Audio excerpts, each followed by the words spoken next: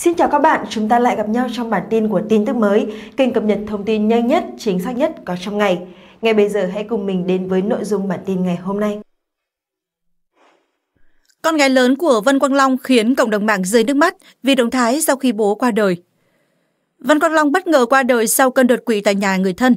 Nam ca sĩ ra đi ngày 29 tháng 12 ở tuổi 41, để lại nỗi tiếc thương vô hạn cho những người ở lại. Khán giả, người thân đến bây giờ vẫn chưa hết bàng hoàng, liên tiếp bày tỏ nỗi tiếc thương, tưởng nhớ đến cố nghệ sĩ.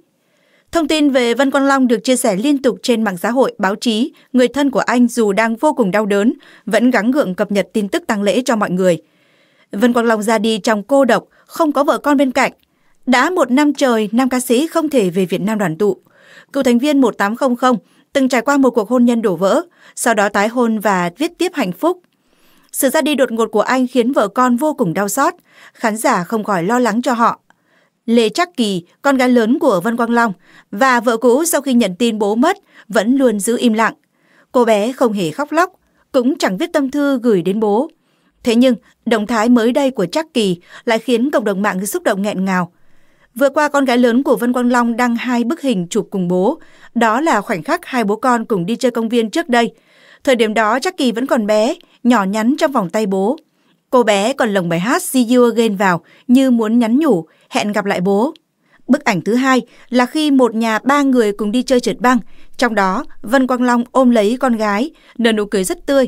Chắc kỳ để chú thích. All that smile, tạm dịch là ôi nụ cười đó. Cả hai bức ảnh con gái Vân Quang Long chia sẻ đều đã rất cũ và mờ. Nhớ lại kỷ niệm cũ, chắc kỳ chắc chắn rất buồn và đau lòng. Cô bé từ đây sẽ phải trưởng thành và tự lập nhiều hơn khi không có bố ở bên. Sau khi Vân Quang Long và vợ cũ ly hôn, anh vẫn giữ liên lạc với con gái. Năm 2016, hai bố con cùng tham gia một show truyền hình và nhận được khá nhiều sự chú ý của khán giả. Bị chê làm lố khóc lóc khi livestream báo tin Vân Quang Long qua đời, Quách Tuấn Du lên tiếng. Vừa qua thông tin nam ca sĩ Vân Quang Long qua đời vì bị đột quỵ khiến khán giả, đồng nghiệp bàng hoàng. Theo chia sẻ từ phía người thân của ca sĩ, anh ra đi trong lúc ăn cơm trưa cùng mọi người.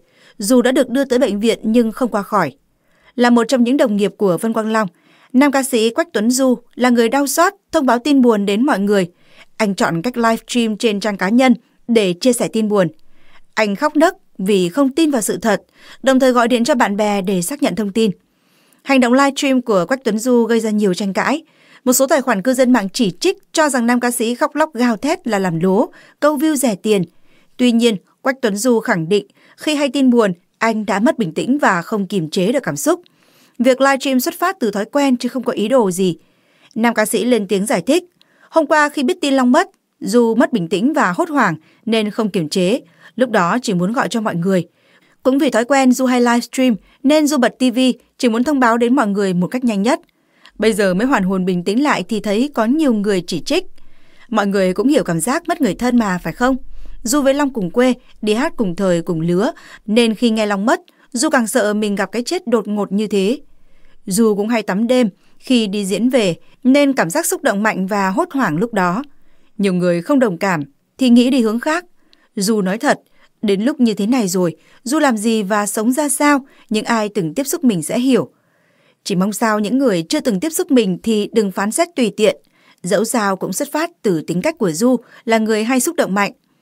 Mong mọi người chia sẻ cùng Du trong lúc này.